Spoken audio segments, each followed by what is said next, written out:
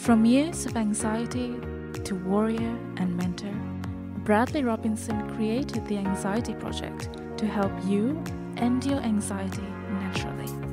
Let's mold the new you and let's end anxiety together. Hello, everyone. Welcome back to the Anxiety Project podcast. This one is episode 235. Oh my God. I am Brad Robinson, 235. I cannot believe it. It's been years. I remember sitting in a Tim Hortons, that's a coffee shop here in Canada. I remember sitting there and thinking, you know what, I'm going to start a podcast. I'm going to help anybody. If one person, 10 people listen, it, they're going to take something from this because my aim for the podcast was to provide just the tools, like straightforward. Here's the truth of how to overcome anxiety no BS, no cutting corners, blatantly telling you how I got out of the chaos and the complete unknown of anxiety and share that with as many people as I can. And that's where I am today. Each episode that I do, I, my aim is to provide you with as much wisdom and information that I can within the 30 minutes that I share with you. And so today we're talking about some of the wisdom. Well, I'm providing you with some great passages from amazing books that I highly recommend you check out that have really influenced my life. And that my aim with every episode is to just cram in just the truth of what's required to grow, what's required to lessen anxiety, what's required to lessen depression. And I came from generalized anxiety disorder. So if if you're fairly new to the channel, first of all, welcome.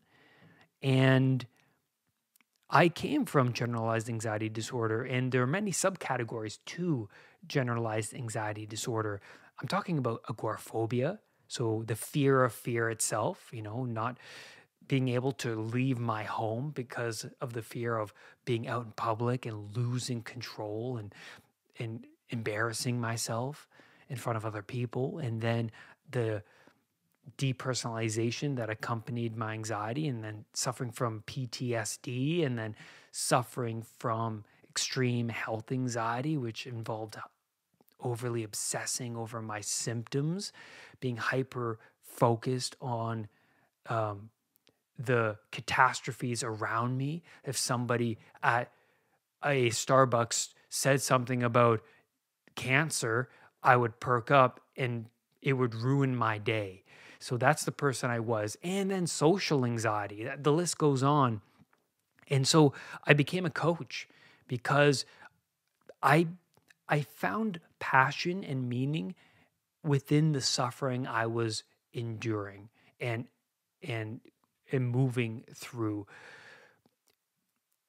It became a battle against myself when I started to shrink my world down. And when I say shrink my world down, I'm not talking about agoraphobia. I'm talking about minimalizing the amount of things I was chasing every day. So minimalizing certain negative friends or minimalizing certain habits I just know is contributing to my anxiety, minimalizing certain foods that I know is contributing to my anxiety. I noticed that there is much there is much meaning that came from those pursuits and those sacrifices. And that actually brought an unbelievable amount of meaning into my life. I knew that life is just way more exciting than than it just seemed in the past when I was just coping, going with the flow, uh, managing the stress and it and the the yearning and not really like I was drifting a lot in my 20s a lot many years of drifting and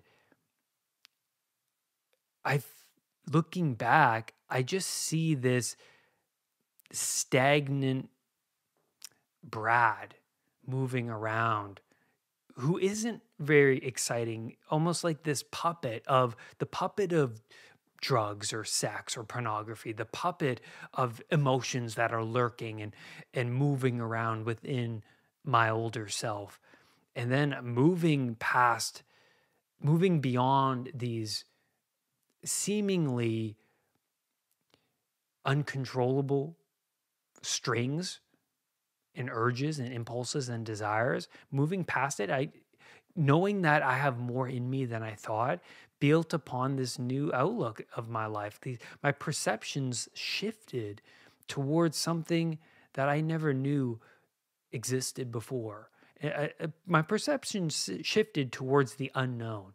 That within the unknown, within what I don't know, that's where the growth lies. The adventure lurks within the unknown. And so let's explore more of this unknown today. Let's explore some of the great wisdom the some of the great passages I found enlightening within some of the great books that have really impacted me and my recovery and my growth. I want to start with a passage or sorry, with a quote from me. Being a curious explorer of oneself inevitably creates a new self. You have to explore your being. Look inwards. I was trying to grasp on to a career or a success or fame or fortune that was going to fulfill me. And then I noticed that the fulfillment came when I was sitting alone in the library, not gaining fame or fortune or success, but gaining wisdom from the books that I was reading or gaining this the the, the structure I needed to just lessen anxiety and lessen the the race, the rat race that was just happening all around me, especially here in the Western world. It's just go, go, get things done. You got to go, got to pursue this. And then for me, going down those lanes, I've I noticed that there has to be more to life than this. There has to be more to life than this. And so, um, and so, yeah, the first book I recommend to you is Rewire Your Anxious Brain by Catherine Pittman and Elizabeth Karle. Um, this was one of the first books I read about anxiety, about the neuroscience of anxiety, that not, not only did I understand, but it opened so many different doors for me. And so the first passage I want to read to you is about the amygdala, the amygdala pathway and you know the amygdala. If you don't know the amygdala, this is the emotional part of the brain. It's it's a very ancient part of the brain that initiates this fight, flight, or freeze response. And it's necessary to have this amygdala, well, because you need it to respond to any perceived danger. Even it needs to work reflexively. Like if you're walking down a pathway and you see something that resembles a snake on the pathway, your amygdala operates faster than your cortical pathway. And so you unconsciously jump back, not even knowing what it really is, not even rationalizing what the thing on the ground is that you jumped from. It's just this automatic reflexive response. So, I want to dive into more of the amygdala in detail. And a passage here that I found so fascinating, find so fasc- fascinating, is about the lateral nucleus within the amygdala. So the passage goes The amygdala is divided into several sections, but we'll focus mainly on two that play essential roles in creating emotional responses, including fear and anxiety. The lateral nucleus is the part of the amygdala that receives incoming me- messages from the senses. It constantly scans your experiences and is at the ready to respond to any indication of danger. Like a built in alarm system, its job is to identify any threat you see, hear, smell, or feel, and then send a danger signal. It gets its information directly from the thalamus. In fact, it receives information before the cortex does, and this is important to keep in mind. The reason the lateral nucleus gets information so fast is because the amygdala pathway is the more direct route from our senses. The amygdala is wired to respond quickly enough to save your life.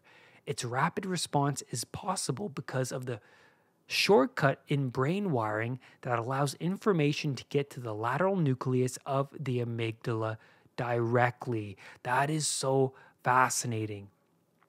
So it responds unbelievably quick to save your life, and you don't even comprehend the fact that, well, what did you actually jump from exactly? So, when our eyes, ears, nose, or fingertips receive information, the information travels from these sense organs to the thalamus, and the thalamus sends this information directly to the amygdala. At the same time, the thalamus also sends the information to the appropriate areas of the cortex for higher level processing. However, the amygdala receives information before the information can be processed by the various lobes in the cortex.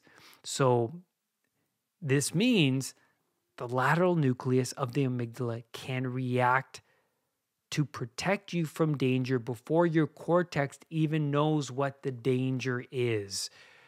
Wow, that is huge. Now let's talk about the central nucleus within the amygdala. The amygdala can accomplish its quick response because of the special properties of another nucleus within it, the central nucleus. This small but powerful cluster of neurons has connections with a number of highly influential structures in the brain, including the hypothalamus and the brain stem. This circuit can signal the sympathetic nervous system to activate the release of hormones into the bloodstream, increasing respiration, activating muscles, all in a fraction of a second. So, the sympathetic nervous system is this uh, stress response that is activated from the amygdala, right? That's when excess adrenaline and cortisol is pumped within the bloodstream. The close connection of the central nucleus to elements of the sympathetic nervous system provides the amygdala with a great deal of influence over the body. This is so interesting. The sympathetic nervous system is made up of neurons in the spinal cord that connect with nearly every organ system in the body which allows the sympathetic nervous system to influence dozens of responses from pupil dilation to heart rate. The role of the sympathetic nervous system is to create the fight or flight response, an effect that is balanced by the influences of the parasympathetic nervous system, which allows us to rest and digest. So, this is so fascinating because when I was experiencing panic attacks, I was very hyper focused on these strange and unusual, sudden body sensations increased heart rate, perspiration, hyperventilation, weird aches and pains, um, dizziness, like lack of focus.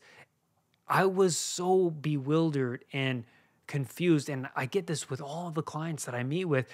They are so taken aback by the wide variety of weird anomalies occurring within the body. And then reading about this opened my eyes to the fact that it's coming from this ancient brain structure that is, first of all, natural. And second of all, well, we can actually work with our anxiety response to lessen this, right? The reason why we are experiencing these strange sensations is because we have perceived something in our environment as dangerous, right? And at the time, going through my many panic panicky episodes, I'd say that much of my life was in disarray. There were many snakes I was contending with. So the snakes within me were popping up on a day to day basis, even though I wasn't physically coming into contact with a lion in the art gallery or on the subway, wherever I was. They were the snakes within my own being that were popping up.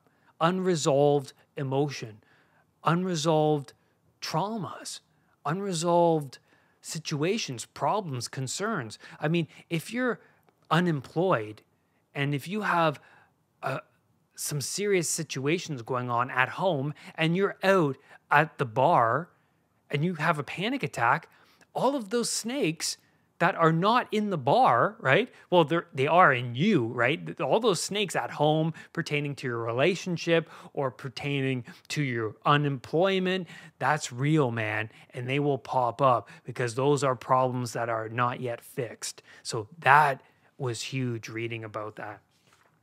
And then I want to go on to say that the reactions of fight or flight are the most familiar fear responses, but the amygdala can also produce another response to fear that's less recognized, freezing, or becoming very still. In fact, we prefer the term fight, flight, or freeze response because so many people say they feel paralyzed when under extreme stress, right? And I would say that when you we first experience panic, we actually freeze because we stop. It's like this, it's like we retreat inwards at, at like that's what freezing is. When you come into contact with something predatory, what happens immediately? You freeze. It's like you're paralyzed. That's when you confront Medusa, the the woman with the head full of the hair full of snakes, right? It the snakes freeze you automatically. That makes sense. So that's what happens when you come into contact with with with a snake within you or in real life. As strange as it seems for our ancestors ancestors, the reaction of freezing may have been a help as helpful as fighting or fleeing in certain situations, like a rabbit that remains motionless as you walk your dog past her nest. Those who freeze sometimes find an advantage in remaining still when threatened. Very, very interesting. And then I want to read you another passage from, from the book. Let me just flip to the page here. Emotional memories. This is really, really interesting. As discussed earlier in the book, the amygdala forms memories, but not in the way people typically think about memories. On the basis of your experiences, your amygdala creates emotional memories, both positive and negative, that you don't necessarily have an awareness of. Positive emotional memories, such as the association of the smell of perfume with feelings of love for your partner usually doesn't cause much difficulty. Therefore, we'll focus on negative emotional memories, especially those that result in fear and anxiety, because these memories can cause a great deal of amygdala based anxiety. As noted in chapter 1, the lateral nucleus of your amygdala creates emotional memories based on your experiences, and these memories can lead you to respond to certain objects or situations as if they are dangerous. Because of these memories, you're conscious of a feeling of discomfort, fear, or dread. However, you don't realize that this feeling is due to an emotional memory because the memory isn't stored as an image or verbal information. It isn't like an old photograph or movie in your mind, as cortex based memories can be. Instead, you experience an amygdala based memory directly. So you get the emotion. That's so fascinating. You get the emotion right away as an emotional state. So you simply begin feeling a specific emotion. If this feeling is anxiety, it's easy to assume that having a fearful or anxious feeling is a accurate reflection of the dangerousness of a situation if you don't understand the language of the amygdala. So that's the end of the passages of, of that book that I wanted to share. But I remember looking back on my anxiety. What I remember is that the panic episodes I would experience on a day to day basis was a signal from my body that there were many snakes within me that I needed to contend with. Now, I, I do agree with the passage in this book about the amygdala forming emotions directly, not pertaining to an image or a movie, but also there are the, the cortical engaging in in in reflection of certain emotional memories can produce images or movies that we can work with in order to lessen the emotional response associated right? Because yes in situations like being at the art gallery and having a panic attack uh, there i got i had the emotional reaction when i was in that environment right i got the panic and anxiety but then later down the road reflecting on that emotional memory, I was able to look at the video. I still have the video in my mind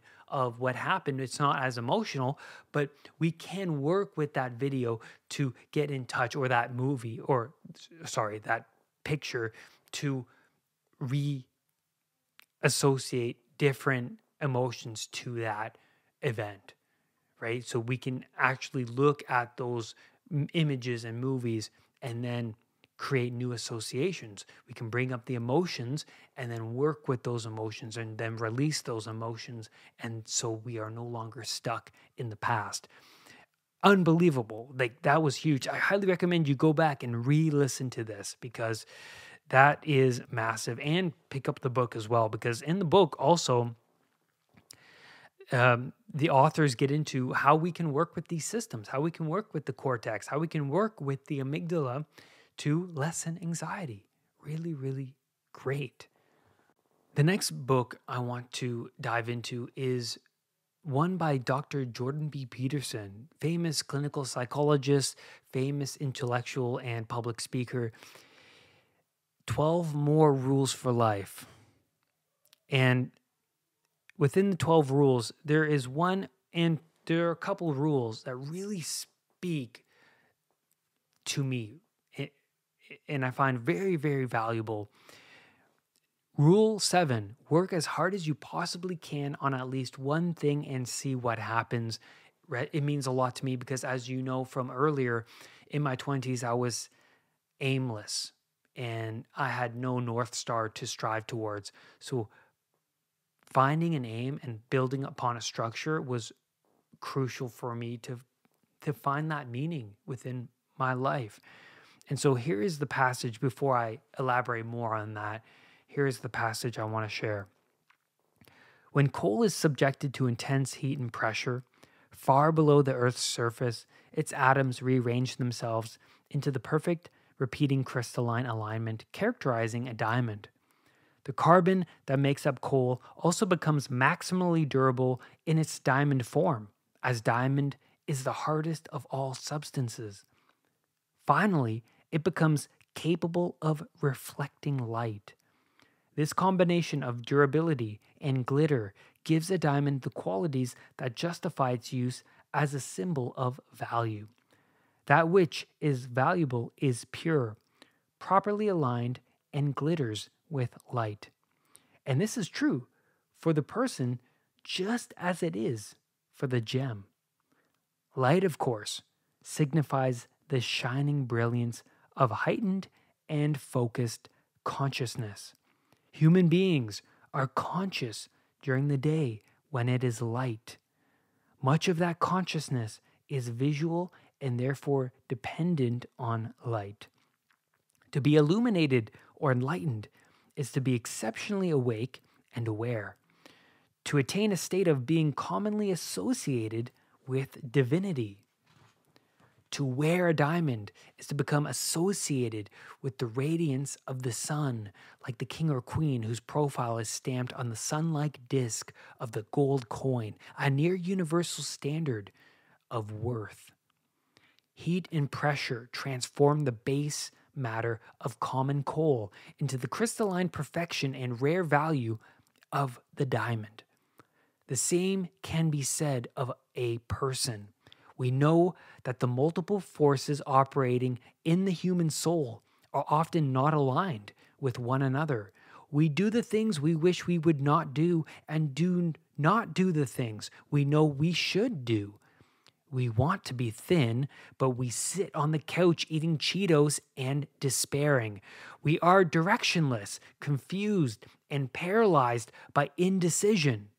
We are pulled in all directions by temptations despite our stated will, and we waste time. We procrastinate and feel terrible about it, but we do not change. It was such, it was for such reasons that archaic people found it easy to believe that the human soul was haunted by ghosts, possessed by ancestral spirits, demons, and gods, none of whom necessarily had the best interests of the person at heart. Since the time of the psychoanalysts, these contrary forces, these obsessive and sometimes malevolent spirits have been conceptualized psychologically as impulses, emotions, or motivational states, or as co- complexes, which act like partial personalities united within the person by memory, but not by intent. Our neurological structure is indeed hierarchical. The powerful, instinctual servants at the bottom, governing thirst, hunger, rage, sadness, elation, and lust, can easily ascend and become our masters, and just as easily wage war with one another. The resilience and strength of a united spirit is not easy to attain. A house divided against itself, proverbial, proverbial, I can't even say that, proverbially cannot stand. Likewise, a poorly integrated person cannot hold himself together when challenged. He loses union at the highest level of psychological organization. He loses the properly balanced admixture of properties that is another feature of the well tempered soul and cannot hold his self together. We know this when we say he lost it or he just fell apart. Before he picks up the pieces and rearranges them, such a person is likely to fall prey to dominion by one or more partial personalities. This might be a spirit of rage, anxiety, or pain, leaping in to occupy the person when his temper is lost. You can see this occurring most clearly in the case of a two year old having a tantrum. He has lost himself temporarily and is for the moment pure emotion. I love that because I love this chapter because it reminds me of how directionless I was and how I was consumed by the many deities as Peterson was laying out here of of lust and all of these desires within me and being a servant to them like a puppet not having any control over them and then I noticed that when my aim was to slay one of these these gods that were only leading me into more of a hellish state, that's where a lot of the meaning came from was pursuit, was pursuit, was through struggle, right? Suffering is where you find the meaning. Like in Viktor Frankl's book, Man's Search for Meaning, the suffering, the meaning came through the suffering. You have to suffer through the gym to see results.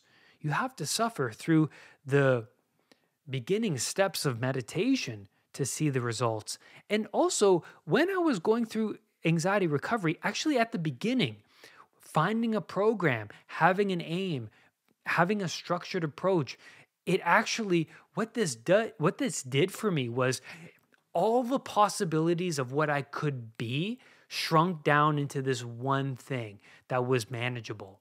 So I, I worked on a program. That was my goal of the day. I'm going to go to the library today and I'm going to work on this program for me. I'm going to study this. I'm going to pursue this path of anxiety recovery. Having that aim brought upon so much more down the road. For example, I started to look into the application process of getting into the camera union here in Toronto. I always loved working in film and I wanted to pursue more. But here's the thing I learned through anxiety recovery that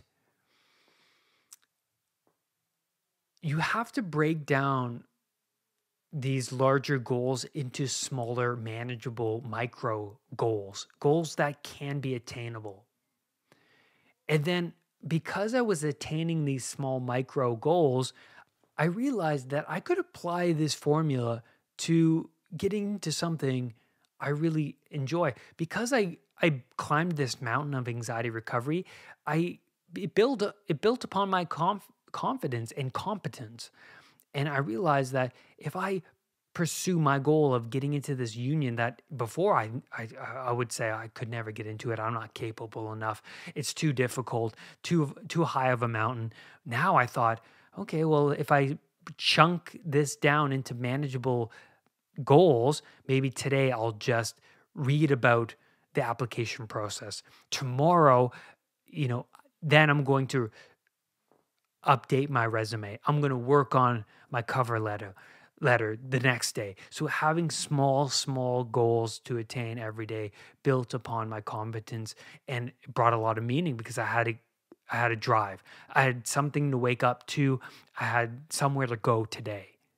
And that's why I love that passage. And then also another rule I loved from 12 More Rules for Life is rule 8. Make one room in your home as beautiful as possible this resonates with me because, like I've said before on this podcast, if you have a messy home, that's a direct reflection of the state of your own mind. Uh, what happens when you walk into a messy room? Immediate anxiety because there are obstacles, right? When an obstacle pops up in your way, negative emotion, right? So imagine a room being messy is consistent. It's it's consisting of many snakes to contend with. And there's, you know, to contend with a snake, that requires you to expend emotional energy, right? And you don't want to do that, right? You have enough energy wasting on your anxiety or your your health anxiety and all, all, the other stuff you're contending with in the day. And when you see those snakes, you go, oh my God, look at all these snakes. But yeah, that's true. But like I said, break it down into manageable action steps. How about you clean a little bit of a corner today? And then you'll see, hey, that produced a little bit of a dopamine kick. I feel pretty good about accomplishing that. Maybe I can do more. And the energy of that dopamine will drive you into more manageable steps. And so you make one room beautiful and then it's it's a reflection of it's a reflection. The beauty is a reflection. It's like when a man confronts a beautiful woman, the man is paralyzed by the beauty. They can't the the man can't comprehend what what is happening within him, but the beauty of the woman brings about the inadequacies within oneself, that you could be more, that you could be more. It's like me when I watch The Rock in a movie and he's extremely, extremely, extremely ripped, right? He's so disciplined. And I can't help but feel, oh, I could do more. I could do more. When you come into contact with these great people, you just can't help but feel like I can do more. And so what I what I mean by the room in this sense is that when you walk into a room and it's beautifully laid out and it's proper, there's a sense of great satisfaction as well as the room is presenting itself as a place where everything is in its right place.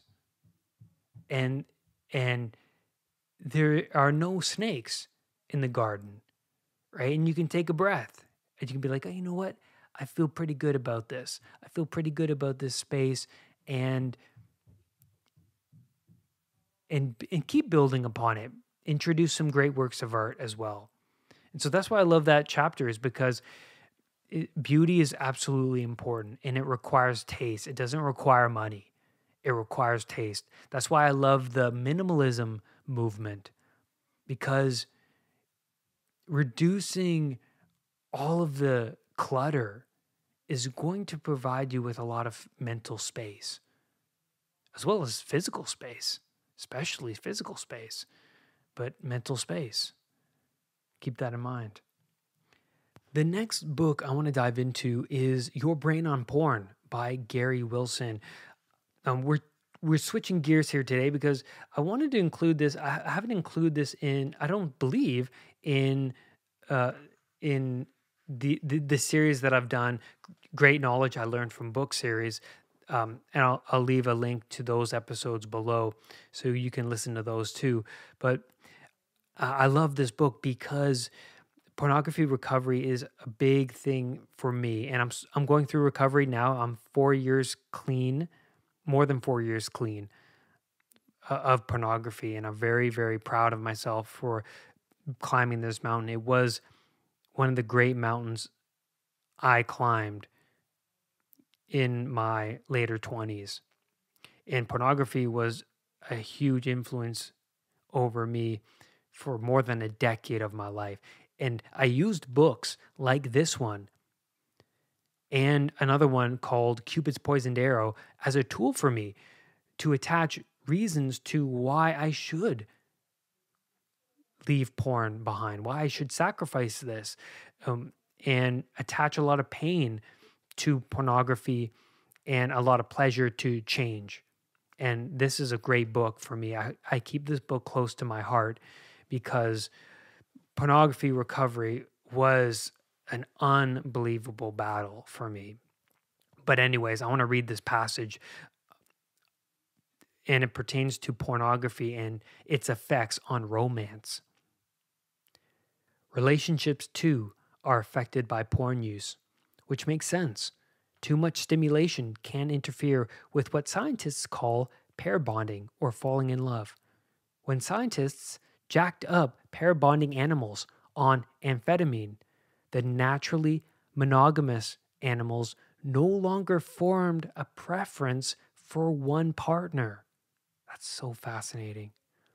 Artificial abnormality, intense stimulation hijacks their pair bonding machinery, leaving them just like regular promiscuous mammals in which the brain circuits for lasting bonds are muted. Let me repeat that last line there. In which the brain circuits for lasting bonds are muted. Research in humans also suggests that too much stimulation weakens pair bonds. According to a 2007 study, mere exposure to numerous sexy female images causes a man to devalue his real life partner. He rates her lower not only on attractiveness, but also on warmth and intelligence. Also, after porn consumption, subjects of both sexes report less satisfaction with their intimate partner, including the partner's affection, appearance, sexual curiosity, and performance. And both men and women assign increased importance to sex without emotional involvement. There are now over 70 studies, most fairly recent, linking internet porn use to sexual problems, lower arousal to sexual stimuli, and reduced sexual and relationship satisfaction. In fact, in men, higher porn consumption is consist- consistently associated with reduced enjoyment of sexual intimacy with a partner. And then social anxiety and self esteem. As users manage to abstain from porn, their desire to connect with others great generally surges. Often so does their self esteem, their ability to look others in the eye, their sense of humor, their optimism, their attractiveness to potential mates, and so forth. Even those formerly suffering from severe social anxiety often explore new avenues for social contact, smiling and joking with work colleagues, online dating, meditation groups, joining clubs, night sports, and so forth. In some cases, it takes months, but for others, the shift is so rapid that it catches them by surprise. In his famous TED Talk, The Demise of Guys, well known psychologist Philip Zimbardo noted that arousal addiction, so porn and video games, is a major factor in the increase in social awkwardness and anxiety among digital natives. Zimbardo's hypothesis is that excessive screen time can interfere with development of normal social skills. Already, 10 studies link porn use to anxiety, with, with an 11th linking it to shyness. Hmm, that's interesting. However, this doesn't explain the increase in confidence and extroversion after quitting or why some guys improve so quickly. In the brain that changes itself, psychiatrist Norman Doidge suggests that the inter- intense stimulation of today's porn hijacks and rewires brain real estate that would otherwise be devoted to making social ties rewarding. Real people become less rewarding, fake people become more enticing.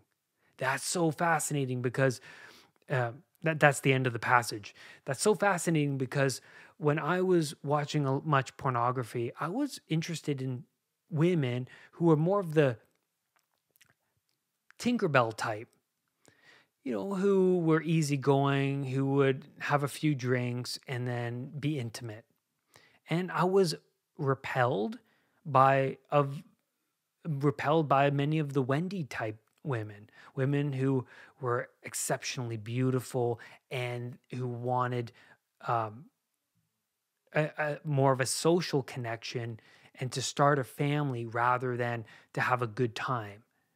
And that's so fascinating because when I met Maggie years ago, when I was battling this addiction, I remember thinking, well, Maggie is not the typical woman I would usually date. And oh man, I don't know if this is going to work out. And then the more I was with Maggie, the more, and the more I was, the more I was separating myself from porn, I realized that the social desires increased and the desires for this fantasy hedonism was decreasing and my desires to pursue these flings these extravagant experiences that would fulfill my desires sexually they were becoming less and less into, to the point where now they are non-existent. And now i i value connection. I value honesty. I value discipline and the list goes on and on. And the, you have to separate yourself from the thing that you can't seem to control and see what happens. And like rule 8 or sorry rule 7 of 12 more rules for life work as hard as you can on at least one thing and see what happens. Work hard at one thing. Pick a name. Pick a north star. Strive towards that thing see what happens. You know, and what could be more exciting than that? At the time, my life was boring. I was just, just doing the same patterns over and over again. But sacrificing this thing that meant so much to my ego, this was so exciting. I was like, man, imagine if I could actually progress through this or imagine going a month without this how would i feel? And then i thought i would feel like a, a new person. Uh, this is the warrior. This is the warrior path. Many people can't do this.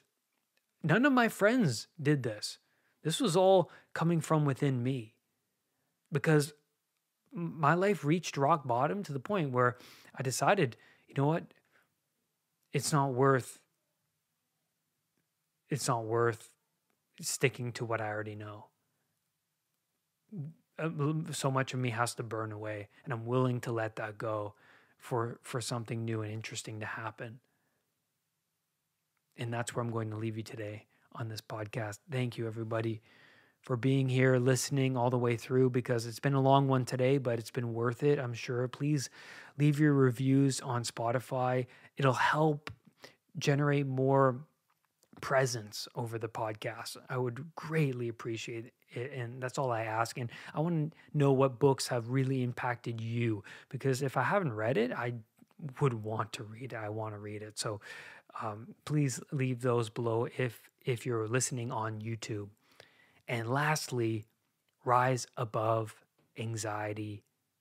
I will see you next time. Brad's powerful anxiety recovery program is now available at unpluganxiety.com.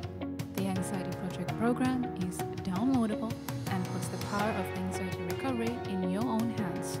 Visit unpluganxiety.com for more details. Recovery starts now.